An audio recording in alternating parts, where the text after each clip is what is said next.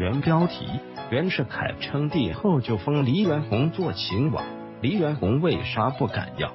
一九一六年一月一日，袁世凯当上了中华帝国皇帝，第一件事就是封黎元洪做亲王，但是黎元洪就是不敢要，这是为什么呢？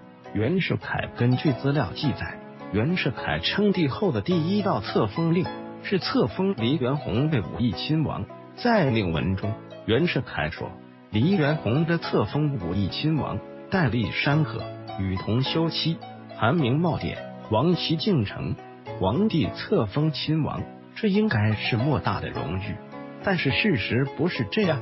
册封令颁布后，袁世凯麾下大臣陆志祥等人到黎宅祝贺。黎说：大总统虽明令发表，但鄙人绝不敢领受。至生无以对国民。”死无以对先烈，各位致贺，实愧不敢当。说完就退入内室，不再露面。后来奉元之命来李宅游说的人络绎不绝，有的还直接以王爷呼之。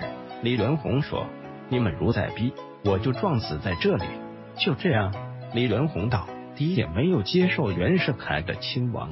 李元洪对于李元洪，熟悉中国近代史的人都会知道他的事。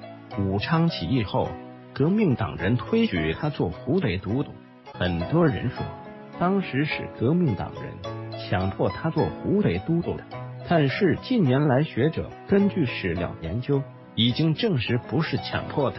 后来他做了民国副总统，而正总统则是袁世凯。对于袁世凯违背民意、逆历史潮流做皇帝。黎元洪从内心里来说是非常不满意的，也知道长不了，所以坚决不接受亲王的册封。历史也证明黎元洪的选择是正确的，说明他做人有底线，绝不同流合污。袁世凯，袁世凯的权力欲是非常强的，手腕也很厉害，他绝对不允许身边身边的人不支持他。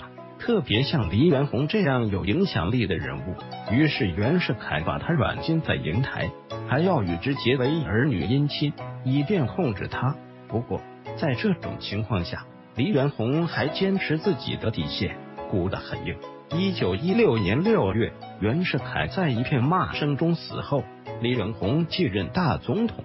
一九二三年六月，黎元洪辞职，退出政坛。移居天津投资实业，辞职后，黎元洪热心教育，屡屡助学。他捐两千元中国银行股票开办天津北塘第一所小学，南开创校他捐七长工债一万元，家乡黄皮创办前川中学金黄皮一种，他捐款三万。他还曾拨中兴煤矿十万元股票，筹备创办江汉大学，后学校未成。筹款被用来建了一座体育馆，即武汉大学的宋清黎元洪字体育馆。一九二八年六月三日，黎元洪因脑溢血在天津去世，享年六十五岁。参考资料：百年兴汉天津印记。黎元洪从北唐起步的大总统，袁世凯就任大总统的前前后后。作者：每日汉字返回搜狐，查看更多责任编辑。Thank you